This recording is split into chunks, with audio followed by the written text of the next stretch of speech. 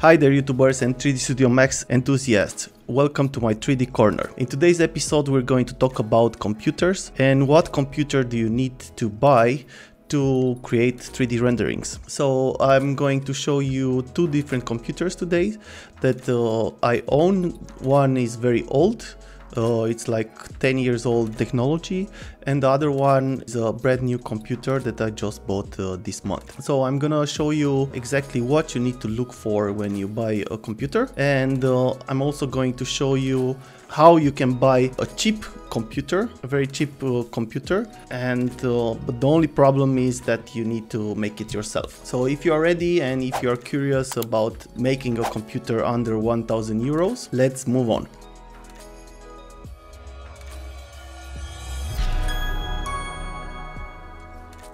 First of all, we're going to talk about the components of a computer. Here I have a page that is called computerinfobits.com uh, where we can see the components of a computer. So the main components of a computer are the motherboard, the CPUs, it can be one or two. Uh, the CPU cooler of course is going for the CPU, it's just cooling the CPU. All kind of, of extension cards, the RAM which is very important, the hard disk the, and the power supply unit. All of these components they go together in the computer case.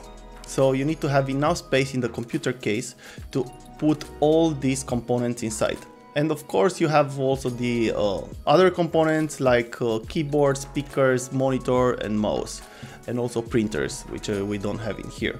So the first and the most important one in our case, if you are talking about uh, uh, rendering with the Corona Render or V-Ray, which are using the CPU, is the CPU, of course. So I have here two computers that I own, as I said earlier. One is an old computer with a 10 years old, almost 10 years old technology that has two processors, CPU E5 2665 at 2.4 megahertz with 8 cores.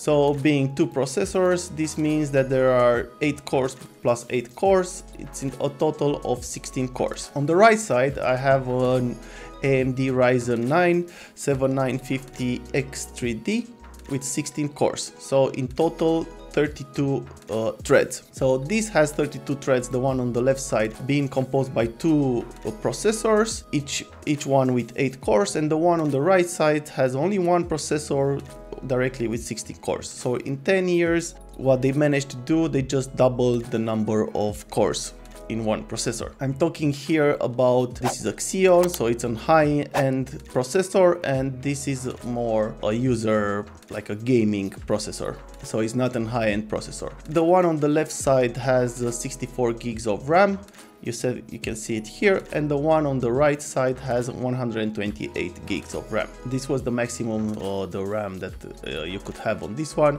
Here I could also have 128 but at that moment I didn't want to invest so much money on the on the RAM.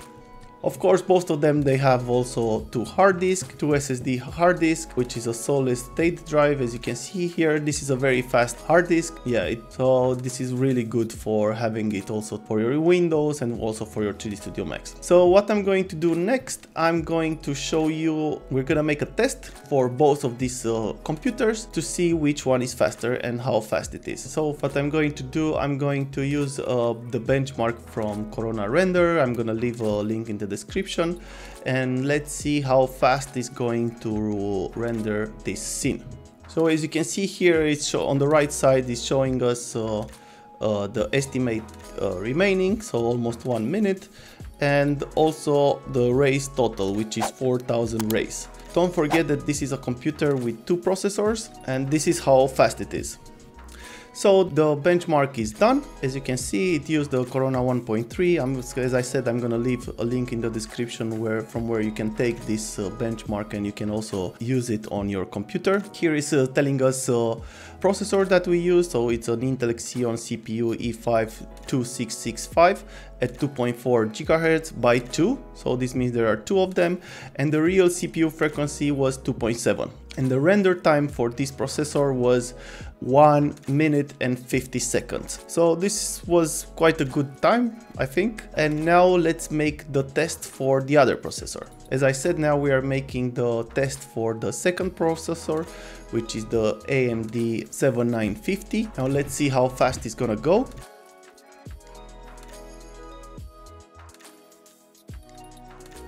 Okay, so it's done.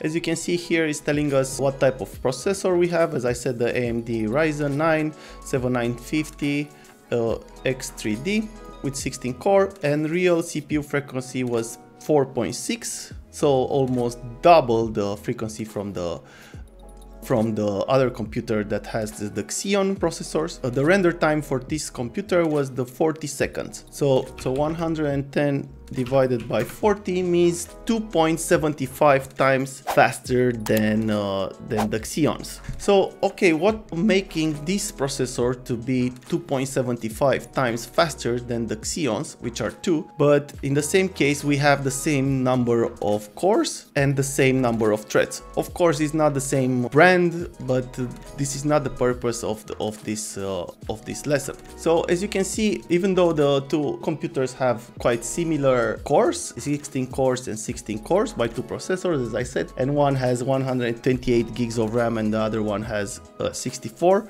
It doesn't really matter here because the scene that we had is quite small, so it doesn't imply having more or less RAM in the computers. So even though as I said, the one on the right side is 2.75 times faster than the one on the left side.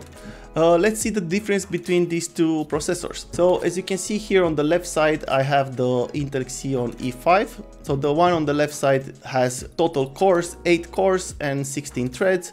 It can max turbo frequency to 3.1 and the base frequency is at 2.4 and it has a 20 mega Intel Smart Cache. So how is it working? So in the moment that you have a scene and you send it to render, the whole scene is gonna load into the RAM because the processor doesn't have enough space to take all that information directly in the processor and to process it. So because he doesn't have that much space to take all that information, which is can be like hundreds of mega or even a couple of gigas of information. So what is he doing? He's using his smart cache. So all the information is going to the RAM. So you load all this your scene to the RAM and then from there he's gonna load in the smart cache which is 20 mega in this case and he's gonna process that information. So he's gonna take each time the 20 mega of information from the computer's RAM. On the other case, on with the AMD, which has also 16 cores and it can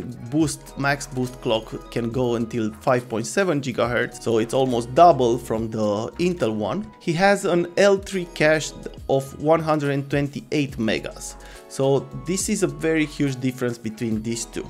This has 20 mega, this has 128. So the Ryzen can process parts of 128 mega each time when you he's loading it from the uh, RAM. So here if you go lower you can see that the the RAM that the Intel is using on this processor is 800, 1600. So the, the memory types that uh, this computer is using is 800, 160 and so on. On the other hand, the one on the right side, it can go until 5200. So this is quite high. So it's starting with 3600. So it's already double than the Intel one and it can go to 5 5200. So this is also a big difference between these two. But as you can see, the total difference between the Intel and the AMD one is 2.75. But let's see if the difference on price is also 2.75. So as you can see here, I went to eBay because this is is a processor that is not made anymore, the Xeon, and I looked for some prices for this uh,